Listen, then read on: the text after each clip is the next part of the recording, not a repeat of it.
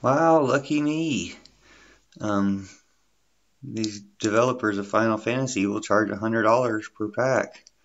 Lucky me. Now, lucky you, uh, I'm telling you, never spend any money on this game, and I'll tell you why. But first, I just want to show somebody didn't get the memo um, that I'm recording this for YouTube, and uh, just back to his old trick. So, as long as John Wick, the guy who got me censored and banned by reporting something I said, I have no idea what, reported something I said to the developers of the game, so I cannot comment in this game. This is the same asshole who sent me 200 messages earlier to jack up my game so that I couldn't sign in, and a thousand comments on my profile.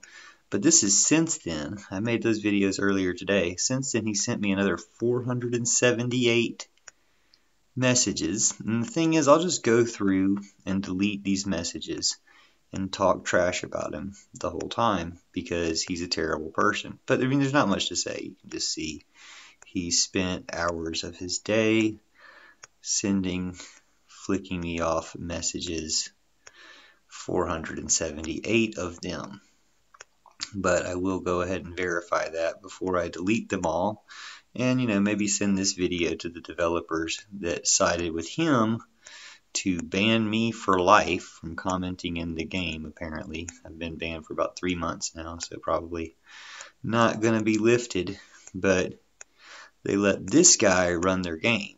Now I'll tell people in the chat room that certain people in this game use it to sell meth. Certain people in this game, pretty much all of them that talk, use it to recruit people to the KKK for Trump.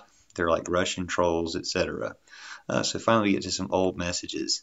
But we're going to click all of these that I can and erase them. And I'll make another video in case they don't all fit on this video.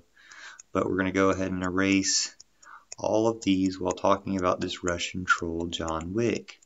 The reason I call him a Russian troll is he'll often speak in Russian, and you know it'll translate into English, but you can see the original Russian, which maybe he's just a troll who takes the time to get something translated into Russian and copies it into the chat. But he's probably actually a Russian. He'll claim that he's practicing his Russian and claims to be American and quotes a lot of American song lyrics from the radio, but like